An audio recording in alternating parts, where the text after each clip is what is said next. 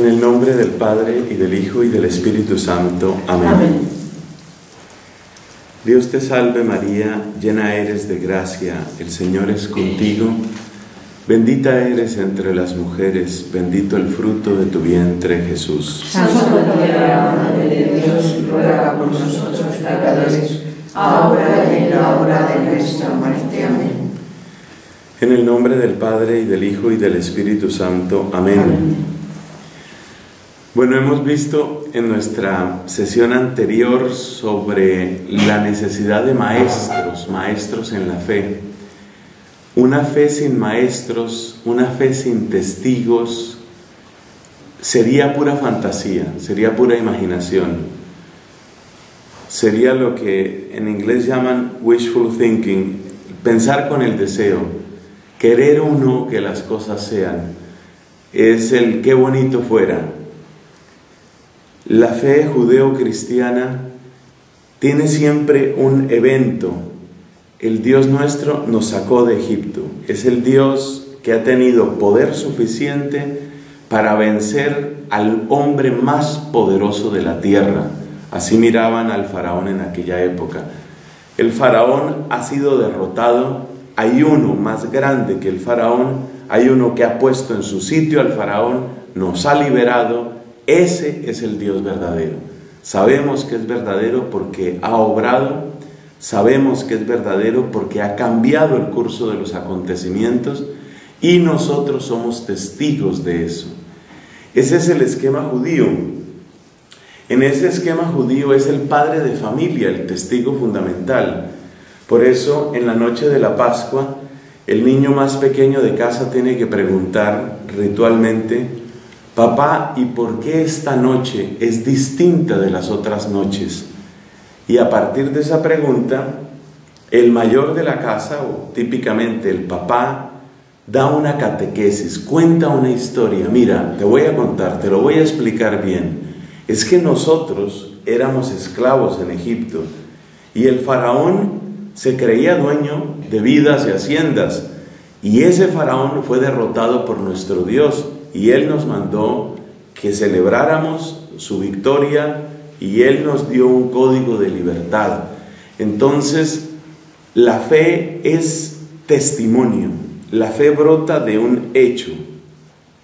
Para nosotros, sin quitar la grandeza del éxodo, hay un hecho todavía más importante, infinitamente más importante. El faraón que ha sido vencido según una expresión que utilizan los padres de la iglesia, no es otro sino el demonio mismo. Ha sido vencido el demonio, ha sido, ha sido vencido el pecado. La muerte, la señora muerte que se jactaba de estar por encima de todos y de arruinar todas las fiestas y de acabar con todas las esperanzas, la muerte ha sido vencida.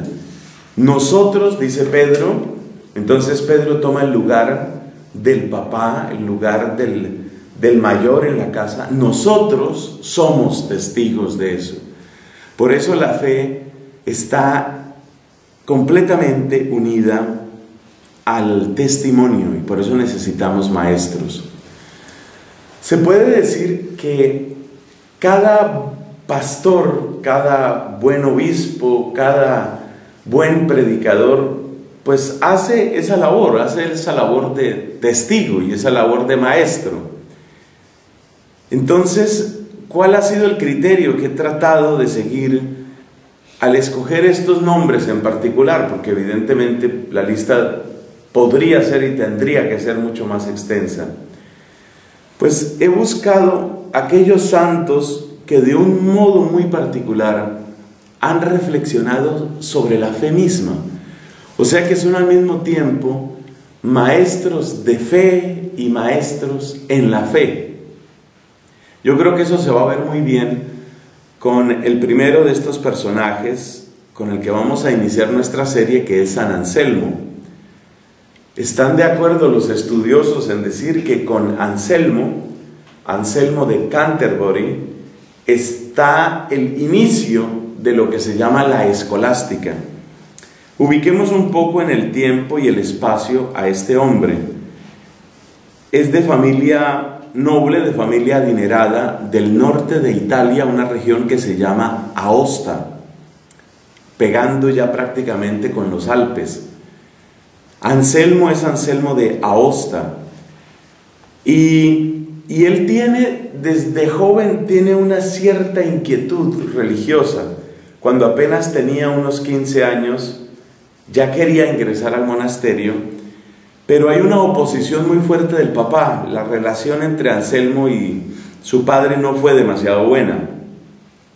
El papá se opone radicalmente y los del monasterio no quieren recibir a este adolescente en contra de la voluntad de la familia.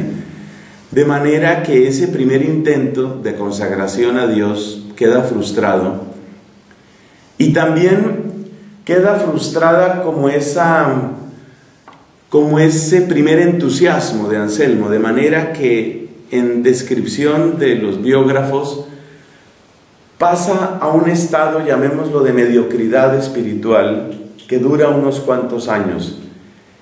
Pero la relación con el papá era mala no únicamente por asunto de religión, sino por muchas otras cosas. Parece que este hombre, el papá de Anselmo, era bastante intransigente, más bien dominante, tiránico, y finalmente pues Anselmo se revela y en la práctica huye, huye de casa. Llega así a Francia en sus recorridos, en su vagabundeo, llega a Francia y vuelve a encontrarse con la vida monástica y decide entrar, eso es en la región de Bec, BEC.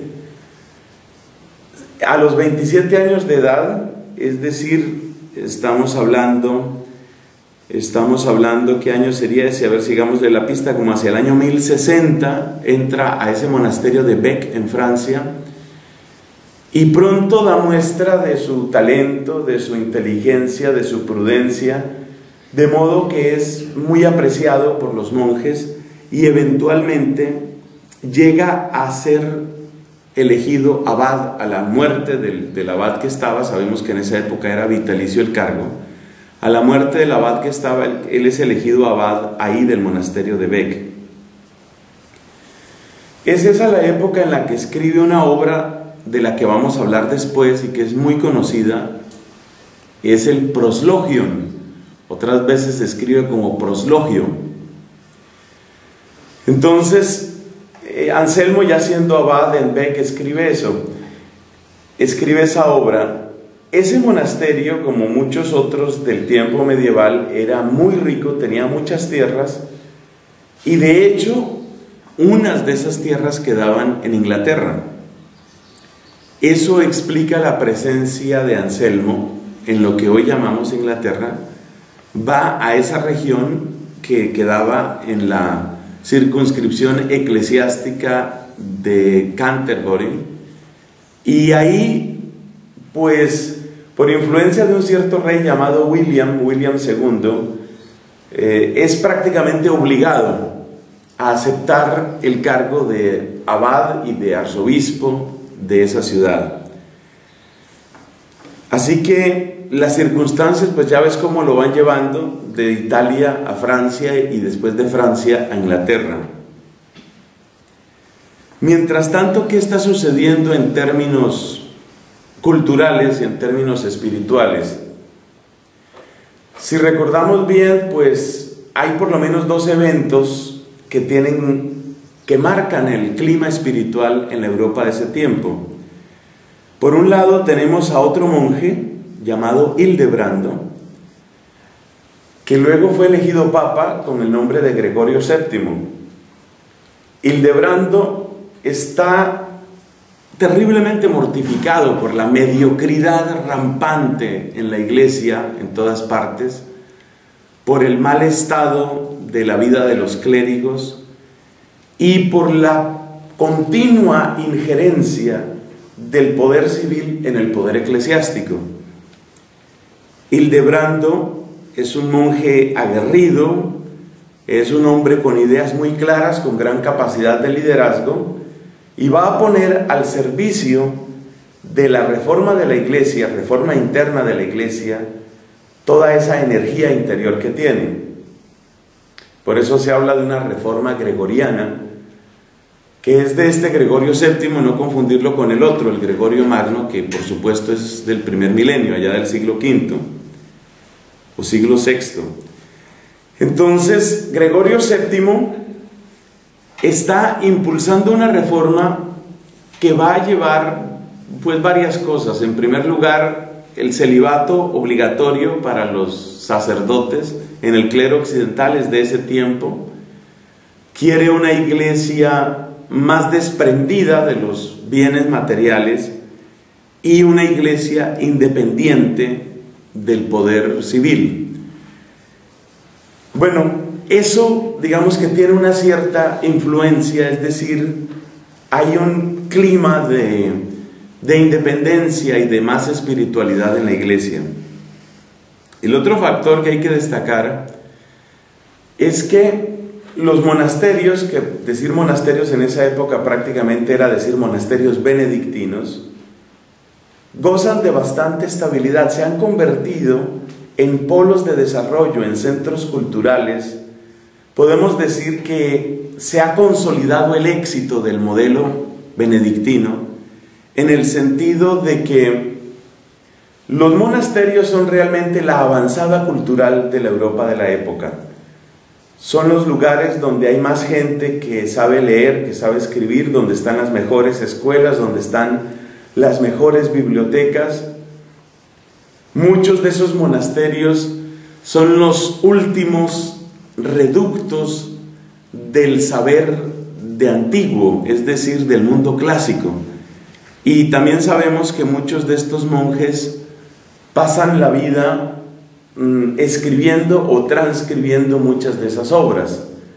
Hay un sector del monasterio que es típico de esa época, el scriptorium, es precisamente el lugar para eso, para escribir.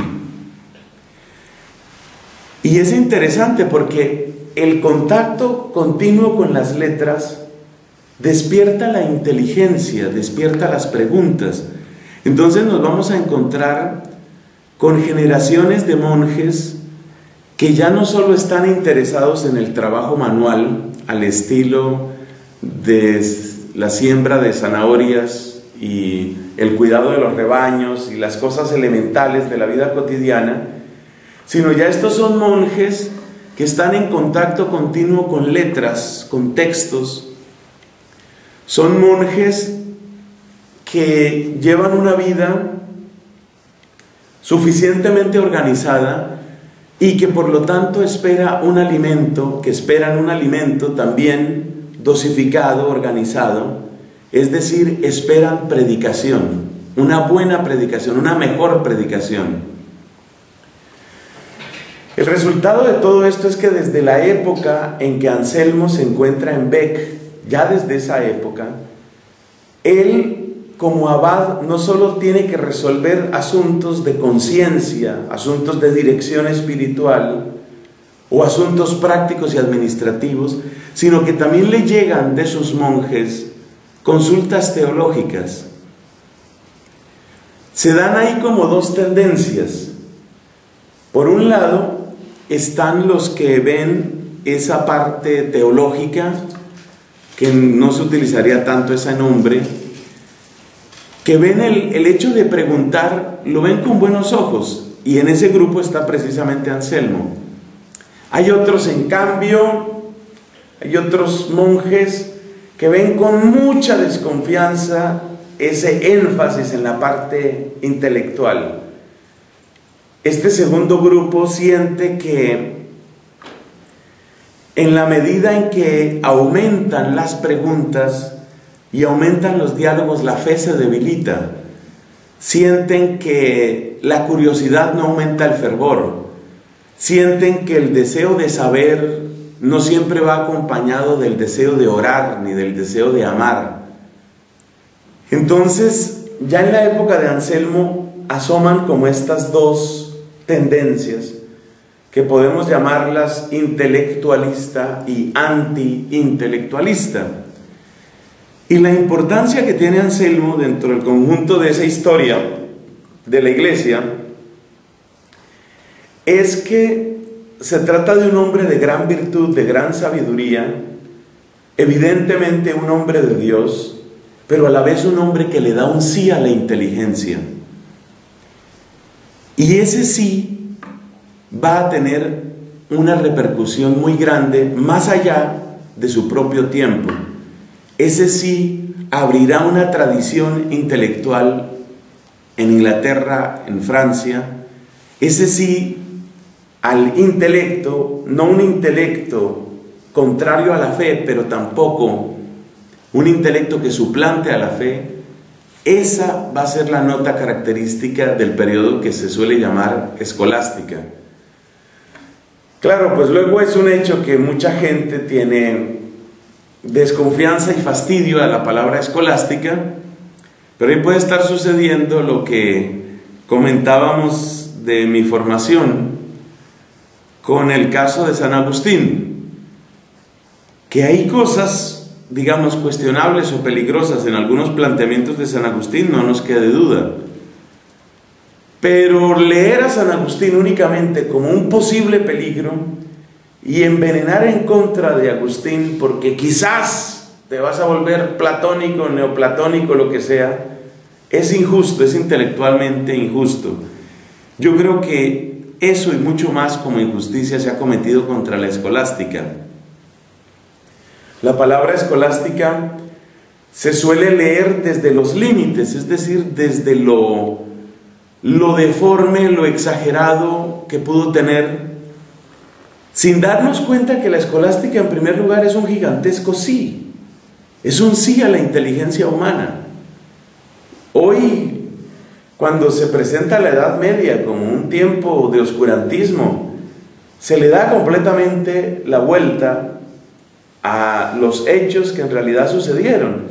Si uno mira la biografía de un hombre como como Anselmo, se da cuenta que en los orígenes de la escolástica lo que hay es una conciencia muy grande de la inteligencia humana como un don, un don que nos lo ha dado el mismo Dios que nos da los demás dones, el don de la naturaleza, el don de la oración, el don de la fe, el don de la comunidad.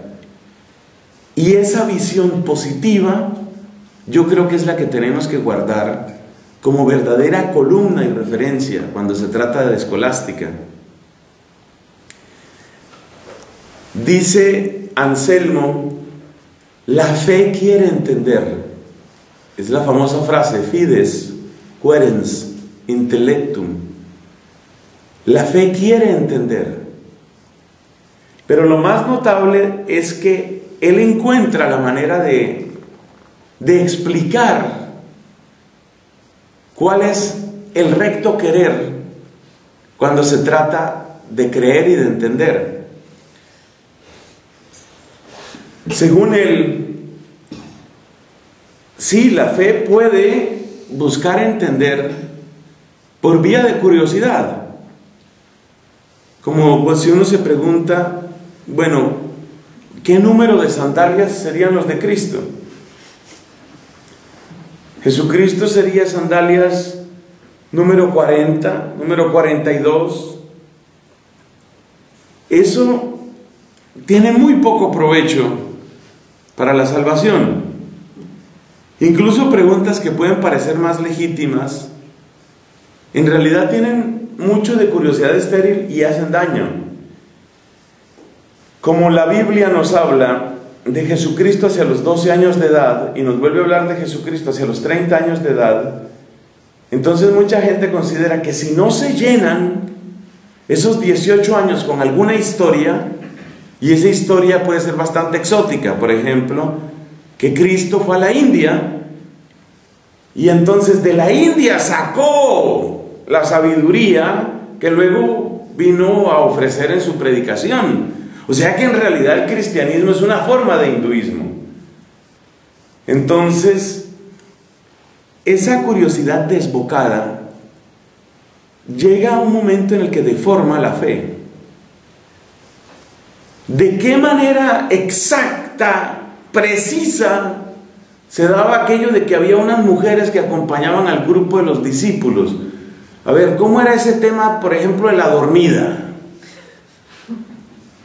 Esa clase de curiosidad no ayuda a la fe. Entonces hay que tener claro que el entender o el deseo de entender no puede estar guiado por la curiosidad. En la segunda secunde de la Suma Teológica de Santo Tomás hay todo un estudio sobre la curiosidad, muy bueno, pues hecho obviamente por nuestro hermano Tomás. Y ahí analiza Santo Tomás el daño que causa la curiosidad. Entonces, no todo deseo de entender es bueno. No, es que yo quiero entender bien cómo era la dormida. Ahí eso, tanto hombre, tanta mujer, ahí al fin qué, qué, qué era eso. Esa curiosidad no ayuda. Entonces lo primero es quitar la curiosidad. Lo segundo es quitar la pretensión de que la fe va a poder explicar las cosas de la misma manera eh, perdón, que la razón va a poder explicar las cosas de la misma manera que entendemos, por ejemplo, los fenómenos de la naturaleza en la medida en que los entendemos. Explíqueme bien la Trinidad, pero bien claro que yo vea, ah, es que esto viene de esto, sale esto y la Trinidad, ahí está. La razón nunca va a poder explicar el contenido de la fe sobre esto hay unas palabras de Juan Pablo II que las vamos a leer después. La razón nunca va a poder explicar el contenido de la fe como se explica un teorema de geometría o como se explican los pasos de una reacción compleja en química orgánica. Eso es una maravilla lo que logran esos científicos. casi cualquier proceso en química orgánica supone la creación y destrucción de una cantidad de sustancias intermedias y algunas son simplemente aceleradoras de procesos o que frenan procesos, a eso los llaman catalizadores. Entonces eso es una maravilla la química orgánica.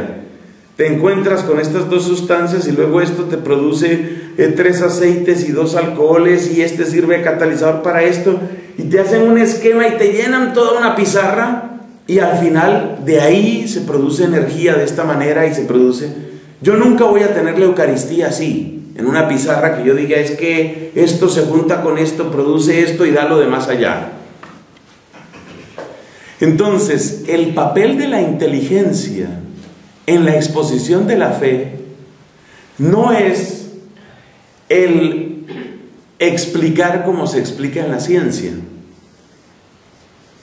Entonces nos enseña San Anselmo que hay dos cosas en las que sí ayuda la inteligencia, o podríamos decir, dos usos legítimos de la inteligencia en cuanto a la fe. En primer lugar, si la inteligencia está llevada por el amor, ahí está la clave. Si es el amor el que quiere acercarse más al amado y si la inteligencia es una manera de apreciar mejor al amado, por ejemplo, apreciar mejor qué es lo que ha hecho por mí, ese es un uso correcto de la inteligencia o de la razón, digamos. El caso típico es la exposición sobre el sacrificio de Cristo. Entonces, si hablamos del sacrificio de Cristo y si decimos, bueno, pero ¿de qué nos ha liberado Cristo con su muerte? Para dar una respuesta que tenga cierto orden se necesita algo de inteligencia. Bueno, que la muerte de Cristo nos libera del demonio, del pecado, de la muerte, nos revela nuestra verdadera condición y nos muestra un Dios misericordioso. Esa es una lista rápida. Esa lista tiene cinco puntos. Cualquier enumeración, cualquier exposición requiere cierta inteligencia. Si esa inteligencia lo que quiere es abrir más, mostrar mejor qué es lo que hemos recibido, entonces esa inteligencia está movida por el amor. Yo sé que en la Eucaristía tengo la presencia más perfecta de Cristo sobre esta tierra. Pero háblame más, explícame, explícame por qué, por qué ese gesto, cuál es el bien de utilizar eso, esa comida que era ya tradicional en los judíos. ¿Cómo se relaciona la comida de los judíos con nuestra cena eucarística? Eso pide inteligencia.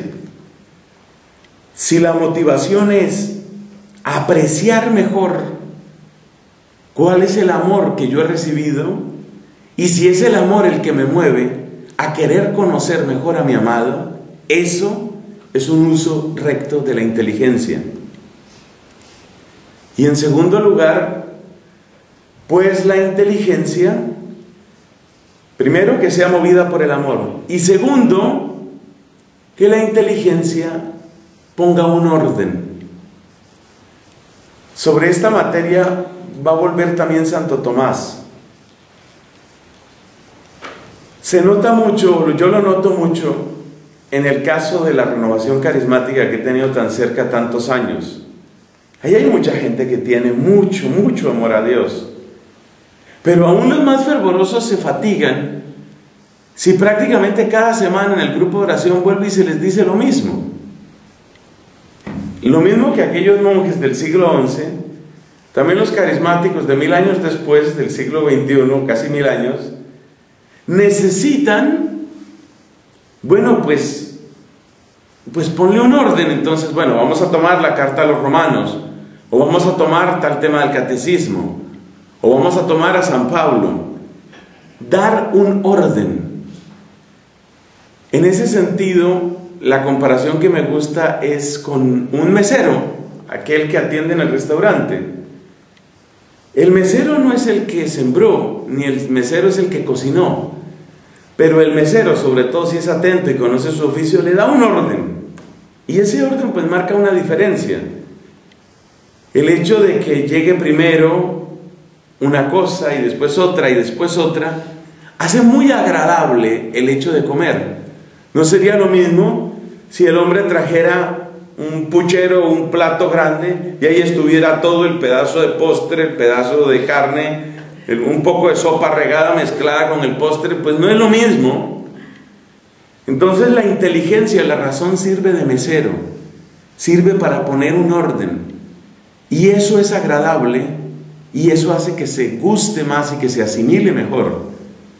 Probablemente si me dan el plato ese donde está todo revuelto, la sensación va a ser tan desagradable que ni siquiera voy a querer comer de eso que revuelve todo. Entonces se asimila mejor. En conclusión, dice Anselmo que si la inteligencia está movida por el amor y si la inteligencia está al servicio de un orden en la exposición de la fe, esa inteligencia es la que nos ayuda. Y en cambio no nos ayuda ni la inteligencia que es pura curiosidad, ni la inteligencia que es arrogancia y que quiere suplantar la fe. Bueno, pero explícame bien el milagro. A ver, ahí qué sucedió. Aclara bien el tema de ese milagro. Y hay gente, de esto también habla San Atanasio,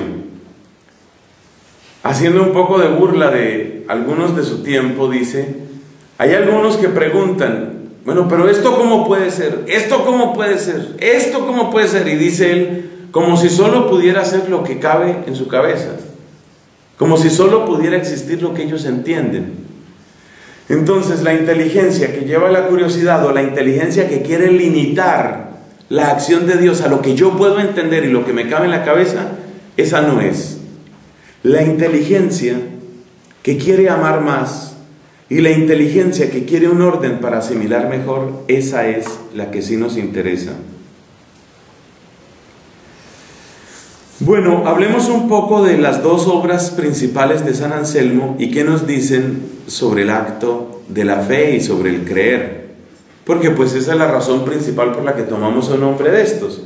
Como vemos, realmente este es un maestro en aquello de la relación entre la razón y la fe. Lo que él nos está exponiendo con este tema es cuál es la manera de relacionar razón y fe. Para todos en la iglesia un tema de estos es muy importante, pero yo creo que para nosotros, dominicos, todavía más.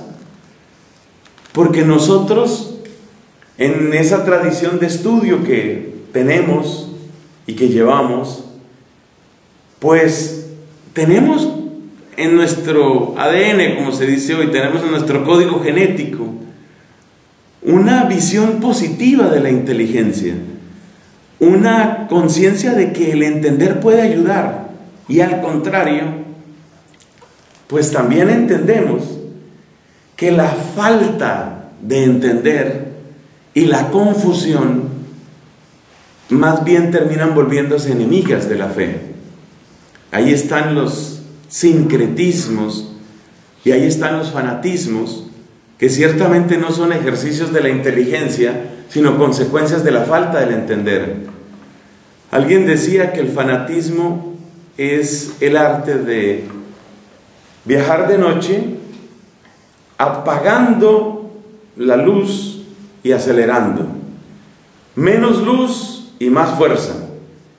Y suele suceder que cuanto menos se entiende, pues se reemplaza la falta de argumentos con exceso de gritos o de agresividad. Bueno, entonces, las dos obras principales, una es el proslogion. ¿El proslogion qué es? Proslogion es una obra en la que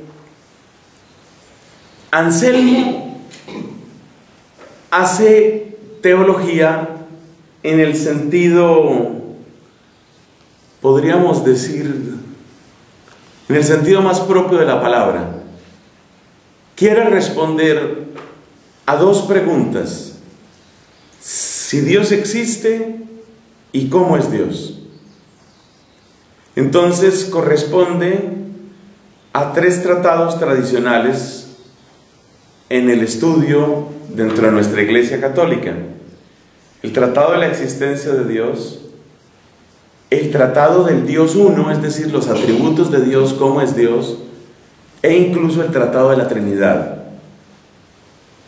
Eso, es lo que cubre el proslogio. La otra gran obra a la que nos vamos a referir se llama ¿Por qué Dios hombre? ¿O por qué un Dios hombre? Cur Deus Homo es el título en latín. ¿Por qué un Dios hombre? Y tiene que ver con la redención, es decir, la encarnación y sobre todo el sacrificio de Cristo. Así que hay otras obras de él, pero por lo menos estas dos ya nos dan una visión bastante completa del aporte teológico de Anselmo. Proslogion y Cur Deus Homo.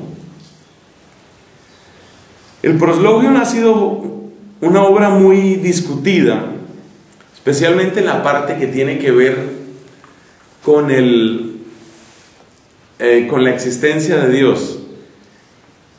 En el Proslogion es donde Anselmo plantea lo que luego se ha llamado en la tradición de pensamiento occidental el argumento ontológico para la existencia de Dios. Este argumento se sigue discutiendo todavía en nuestro tiempo. Autores de mucho valor, como por ejemplo Tomás de Aquino, o como por ejemplo Emmanuel Kant, han dedicado bastante tiempo a analizar el argumento ontológico y en ambos casos la conclusión es que no resulta suficiente.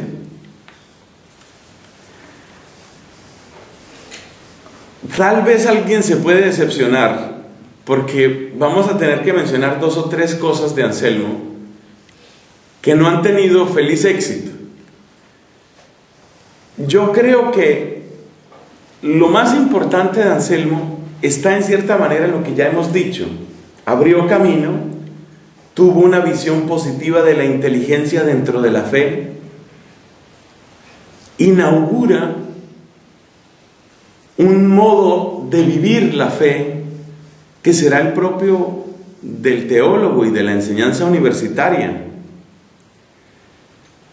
Pero hay cosas de Anselmo que no han tenido no han tenido el éxito que uno desearía si lo quiere mucho. Por ejemplo, el argumento ontológico. A ver, el argumento ontológico, ¿cuál es? Se enuncia de la siguiente manera. Yo puedo pensar en distintos seres.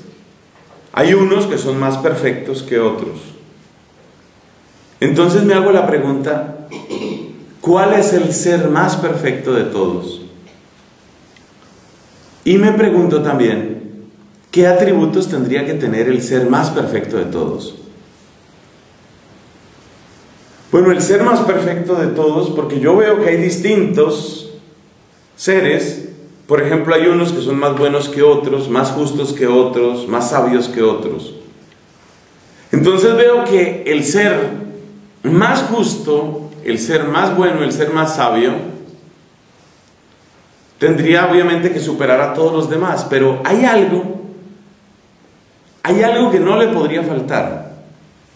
Si ese ser, el máximo, el óptimo de todos los seres, no existiera, si le faltara la existencia, pues entonces no sería el mejor de todos. Porque de qué sirve tener el mejor caballo, pero solo en mi cabeza? ¿De qué sirve tener millones pero solo en mi imaginación?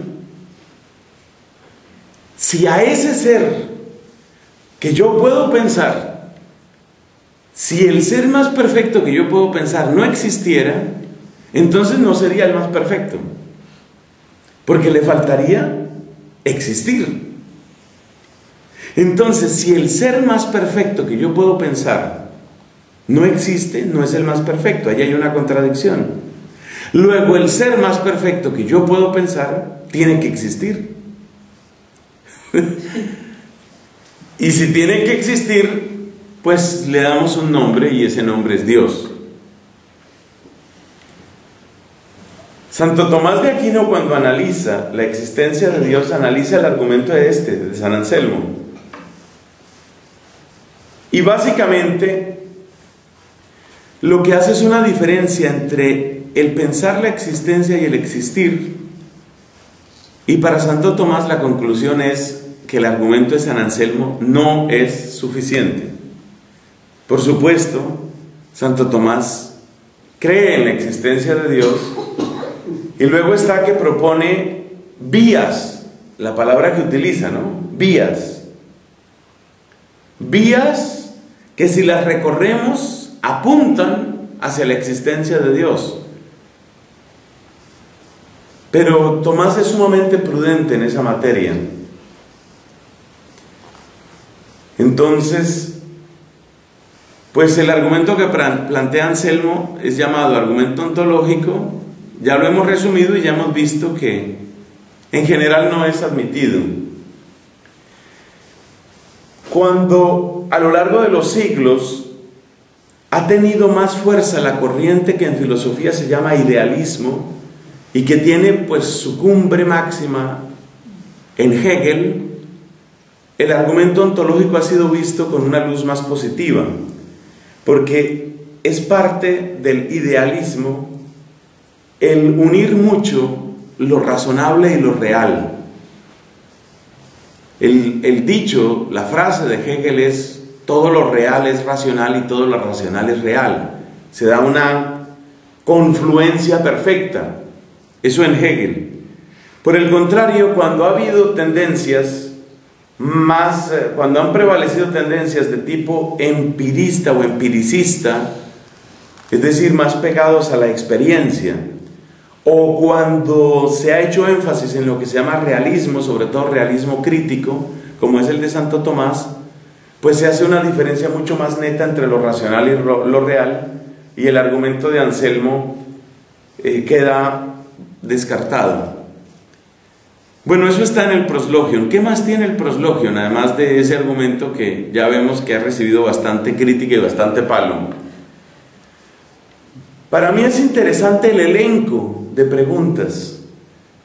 El solo hecho de que este hombre se ponga a hacer esas preguntas, el solo hecho de que haga una lista y que trate de dar una respuesta honesta, que no sea simplemente un argumento de autoridad, conocéis bien el argumento de autoridad, así se ha dicho siempre, así se ha pensado siempre, cállese y empuje.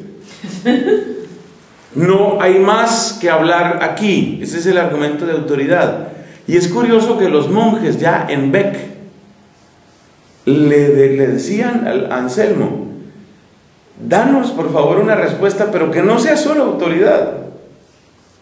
O sea, ya estaban pidiendo algo más que, pues es que aquí hay un versículo. No, no, no, no me des solo el versículo. Ayúdame a entenderlo hasta donde es posible. Por ejemplo, temas que aborda Anselmo en el proslogion, cómo hay que entender la eternidad, cómo hay que entender la bondad, el problema del mal y cómo se compaginan la misericordia y la justicia en Dios. ¿Cómo puede ser Dios a la vez infinitamente compasivo e infinitamente justo? Bueno, como nos damos cuenta, son preguntas que de algún modo permanecen siempre. Ahí donde hay creyentes y donde la gente tiene cabecita para pensar, tarde o temprano surgen estos problemas. ¿Por qué hay maldad en un universo creado por un Dios bueno? ¿Cómo es que Dios puede compadecerse de todo y sin embargo hay justicia? ¿No se supone que la misericordia implica perdón y el perdón implica que no hay castigo? Y si no hay castigo, entonces ¿dónde hay justicia? Este tipo de preguntas. Es interesante ver el valor de un hombre como estos para plantear esas preguntas y es interesante que su esfuerzo pues queda, queda plasmado en una obra que, que luego servirá de punto de partida a otros. Santo Tomás de Aquino tuvo como formación, su formación básica, la de Santo Tomás, fueron dos cosas. La Biblia con comentarios. Así se estudiaba la teología en el tiempo de Tomás. Se estudiaban dos años de Biblia, que era prácticamente como una especie de lección divina, se parecía en algo, era ver todos los textos de la Biblia, presumo yo que todos, con comentarios. Era una Biblia comentada, eso durante dos años. Y luego se estudiaba una obra que se llamaba el libro de las sentencias. Las sentencias, el libro de las sentencias lo escribió un cura llamado Pedro Lombardo.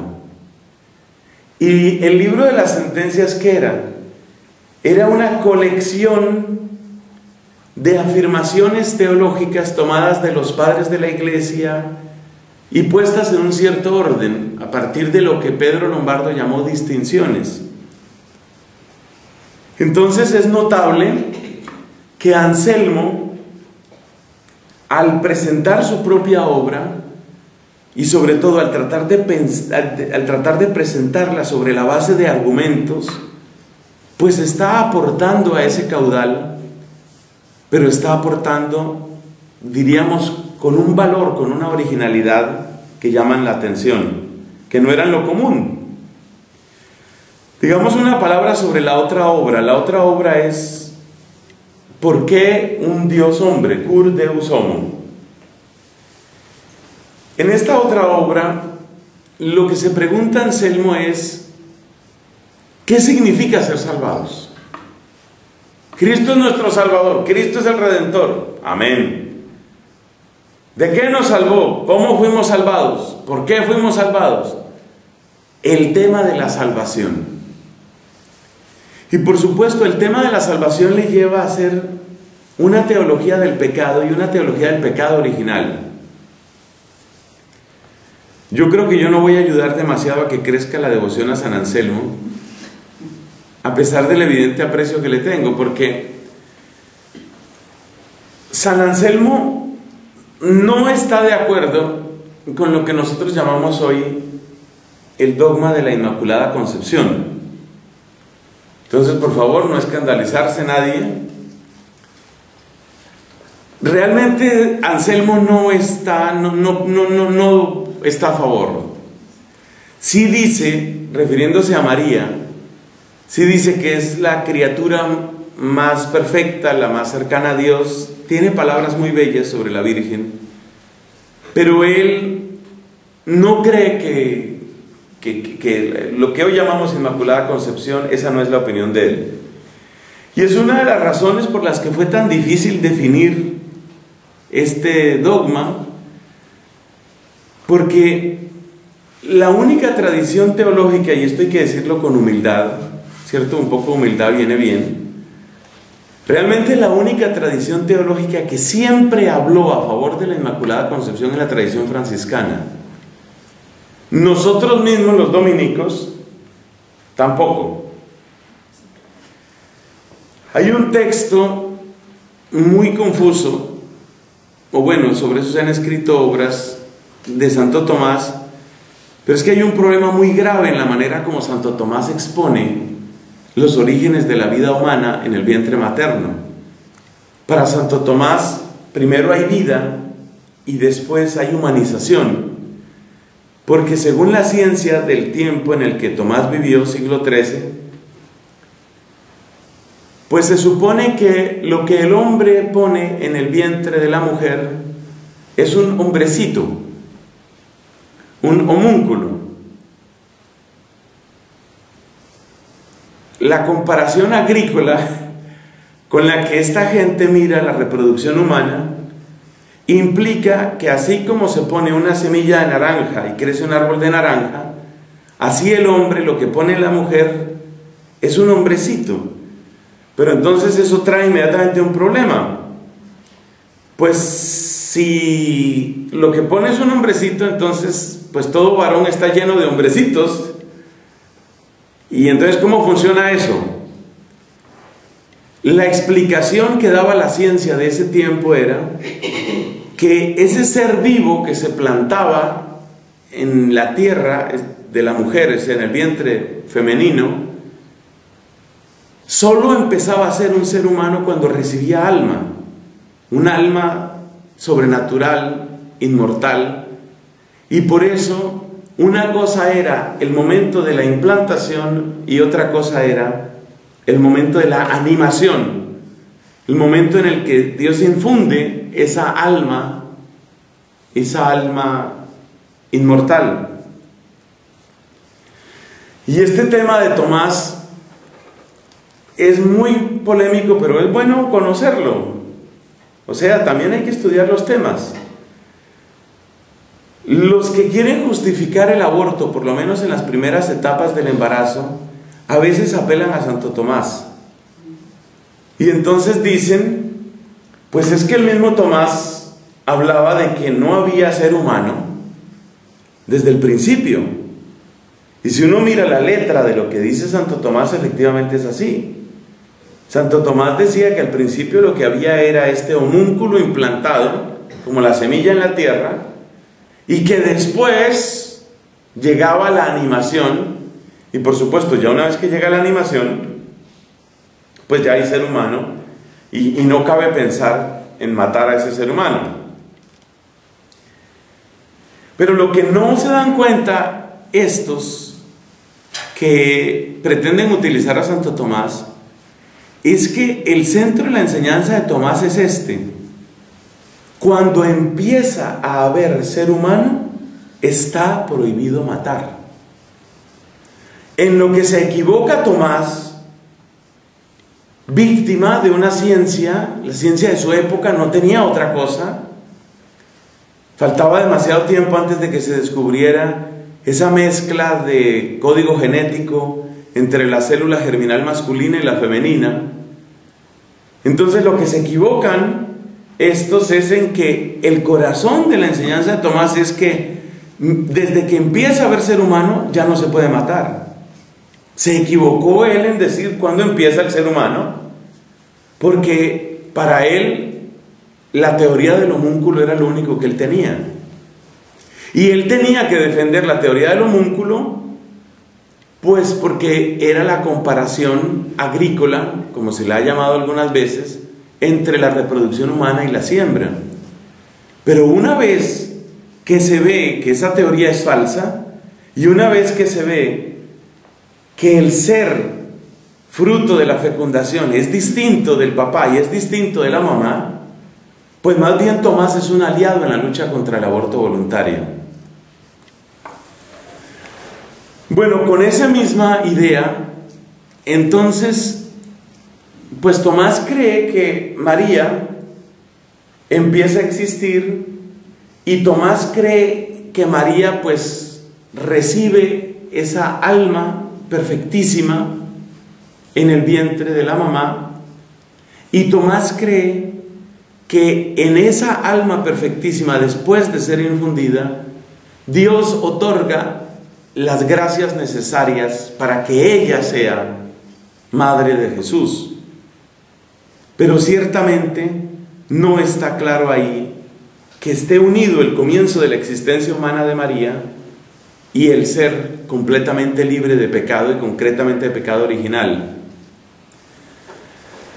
Así que hay que ser humildes.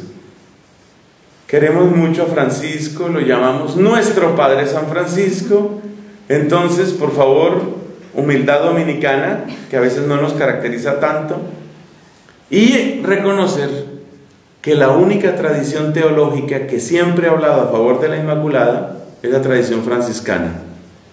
En nosotros hay vacilación en eso y como se ve en el caso de San Anselmo tampoco. Pero San Anselmo sí que hizo un favor muy grande.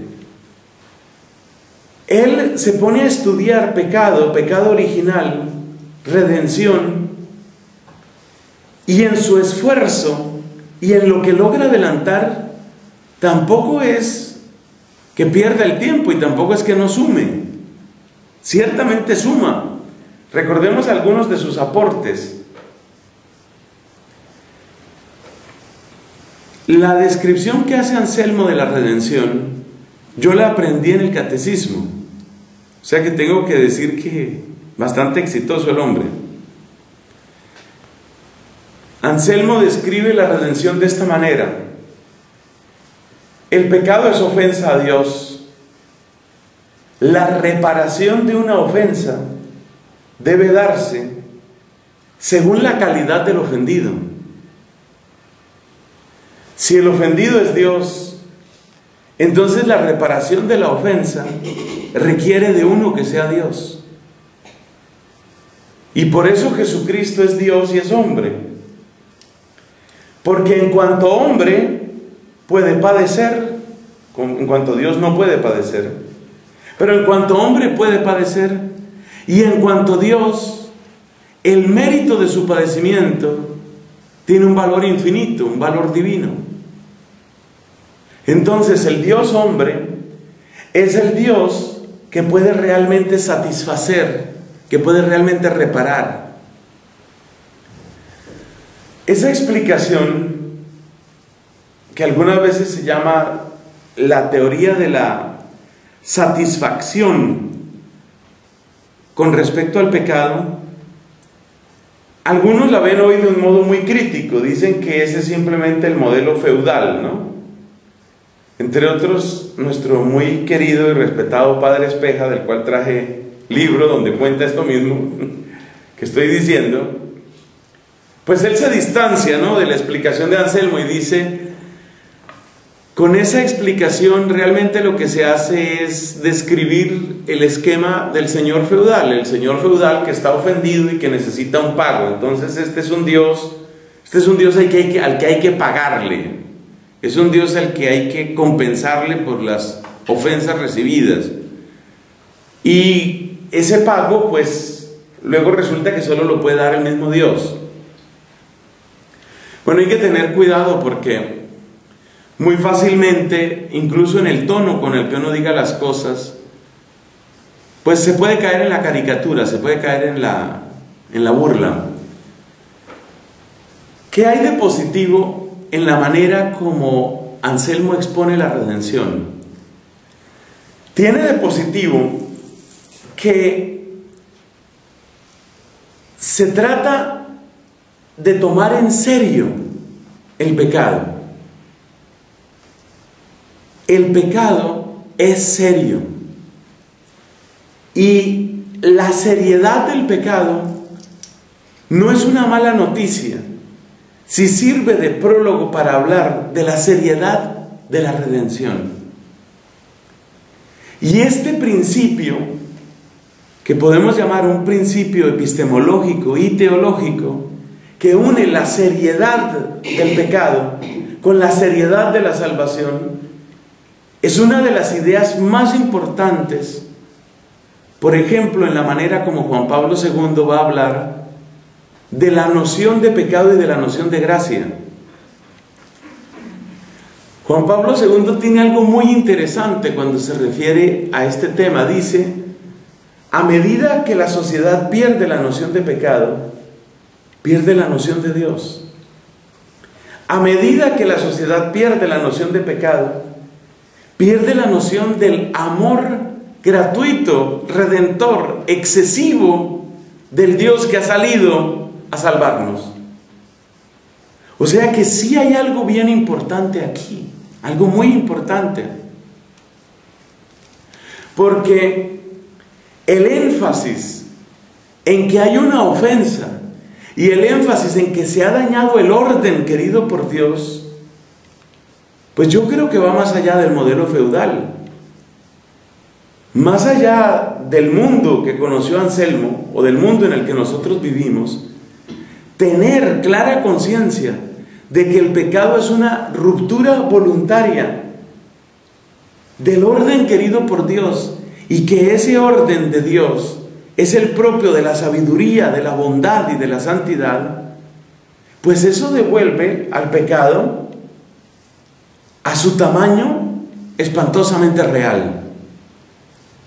Y que hay que reparar ese daño, es decir, que ese daño importa que, el daño importa, que, que sí se ha hecho algo, que nosotros tenemos derecho a desear una creación en la que no haya mancha ni arruga, que tenemos derecho a esperar de un Dios perfecto una obra realmente perfecta. Pero el pecado viene a destruir esa perfección. Pues eso es importante recordarlo. Así que a mí me parece, aunque la descripción de que hay una ofensa y hay que pagar por esa ofensa y entonces hay que bajar, hay que enviar un embajador que tenga el rango apropiado. Me acuerdo que en catequesis nos hablaban de esa manera, ¿no? Pues si se ha ofendido al presidente, yo no mando al mensajero del edificio a decirle al presidente, oiga, que perdone. No, se supone que si se ha ofendido al presidente, pues se necesita pues ver cómo se, cuando importaba ofender a los presidentes, hoy, hoy tal vez no importa mucho. Pero, repito, aunque se puedan hacer caricaturas, yo creo que hay algo que es valioso y permanente en esto de Anselmo. Y es la conciencia de que un Dios perfecto ha querido que su obra, que somos nosotros, y nosotros somos cumbre de su obra, la creación, que en nosotros brille esa perfección. Y que por consiguiente, la falta de esa perfección tiene que dolernos. El pecado tiene que importarnos. Por ahí dice un himno de la liturgia de las horas, ¿por qué dejar, o algo parecido, por qué dejar tanta hermosura en tanta guerra? Dice por ahí un himno. Es decir, si tú vieras un cuadro, eso pasó este año, ¿no? Y fue noticia en el mundo entero. Había un cuadro que tenían en no sé qué parroquia un ex. Y era bonito el cuadro. Había que restaurarlo. Pues una señora, con más buena voluntad que talento, decidió restaurar Y como decís en España, pues se ha cargado el cuadro. Se cargó el cuadro, lo dañó. Anselmo quiere que nosotros sintamos eso. Anselmo quiere que nosotros sintamos que no hay pintor como Dios y que no hay obra tan bella como el ser humano y que el pecado convierte a esa hermosura en un mamarracho y que eso no debe ser y que tiene que importarnos.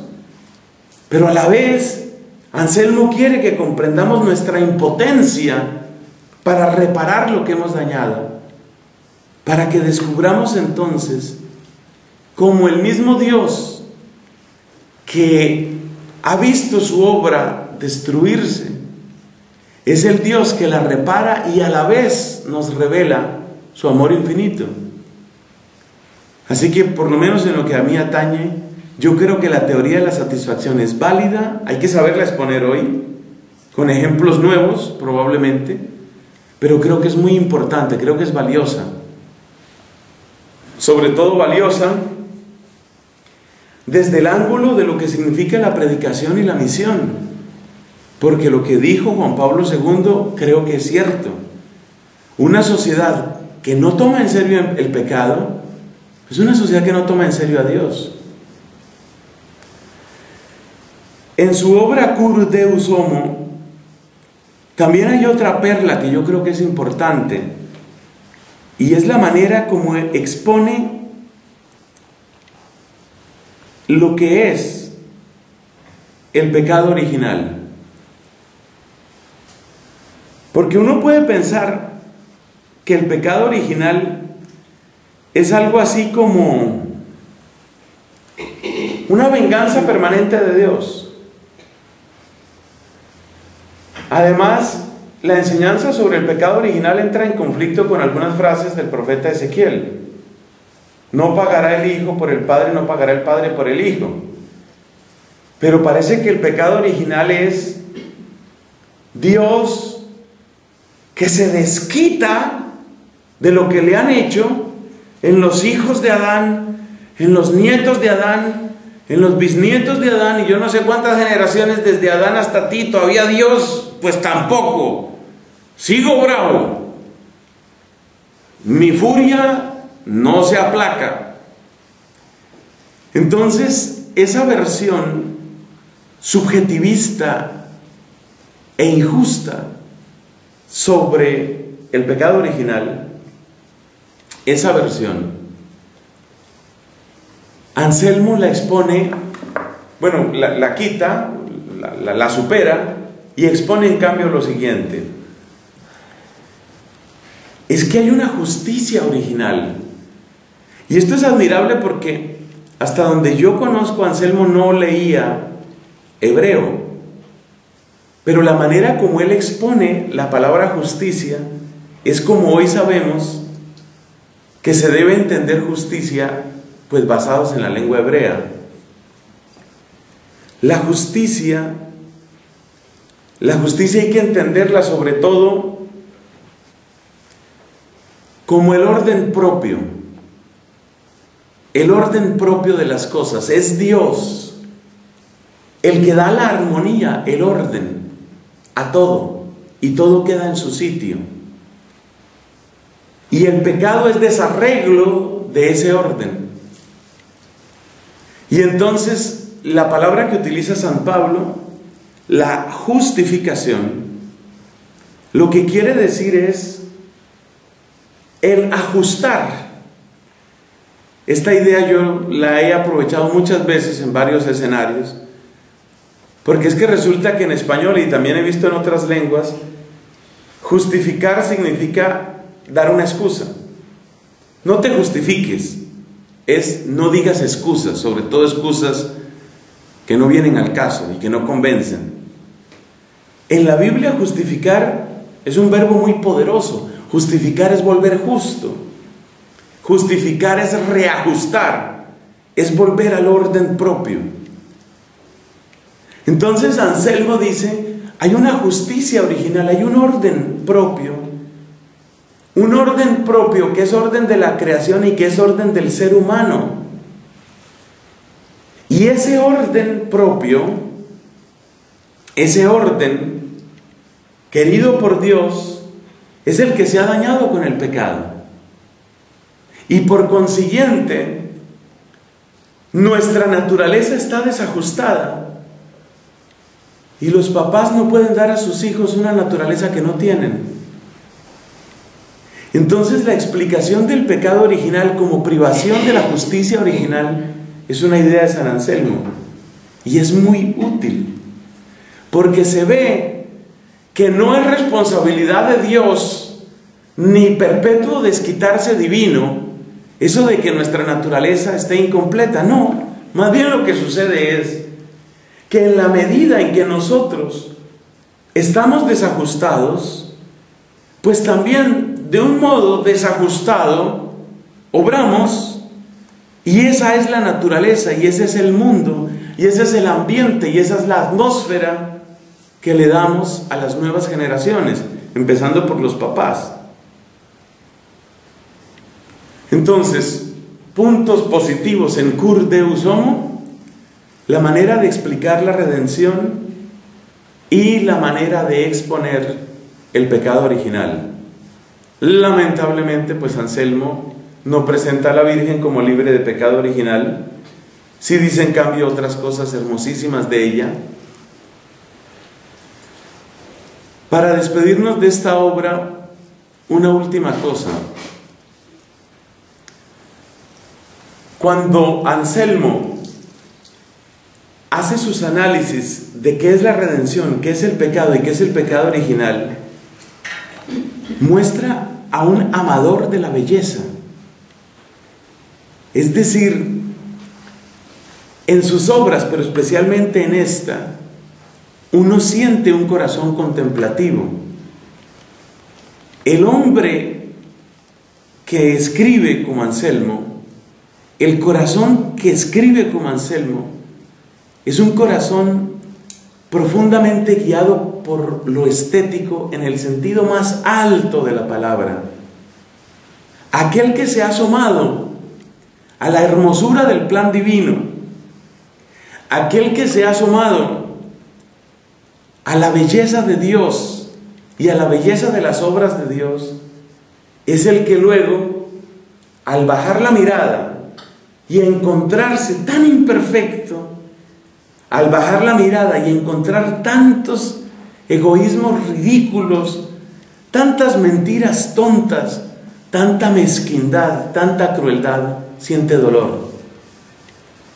Y por eso no se nos debe olvidar que este teólogo es ante todo un gran contemplativo. Me parece que es von Baltasar, Hans Urs von Balthasar, el que destaca ese elemento en San Anselmo, el elemento estético. Sabemos que von Balthasar asumió, puso sobre sus hombros la pesada carga de escribir, reescribir la teología en clave estética. La obra cumbre de von Balthasar se llama Gloria, refiriéndose por supuesto a la gloria divina y el subtítulo es una estética teológica. Porque dice von Baltasar, necesitamos de la inteligencia, necesitamos de la razón, pero sobre todo necesitamos gente que ame la armonía, que ame la belleza. Gente que haya tenido chispas, que haya tenido intuiciones, que haya tenido rendijas para asomarse a lo precioso que es Dios y lo que Dios quiere. Y la verdad es que Anselmo, en la manera como expone estos temas, habla como el que ha visto, como el que ha conocido algo de esa belleza y desde ahí entiende qué es pecar, por qué es grave pecar y cómo la fealdad de nuestro pecado finalmente ha sido transformada por la belleza de la compasión, de la misericordia divina. Bueno, pues no nos deja poca cosa San Anselmo. Nos enseña un poco de la articulación entre la fe y la razón, con un optimismo, con un, con un talante que cautiva, entra por ese camino de la teología y nos muestra, al creyente le muestra que no debe temer al pensamiento y al intelectual le muestra que no debe temer a la contemplación. En ese sentido hay como una escalera. El simple creer, el creer que quiere entender y sobre todo el entender que quiere amar. Gloria al Padre y al Hijo y al Espíritu Santo. Como era en el principio, ahora y siempre, por los siglos de los siglos. Amén.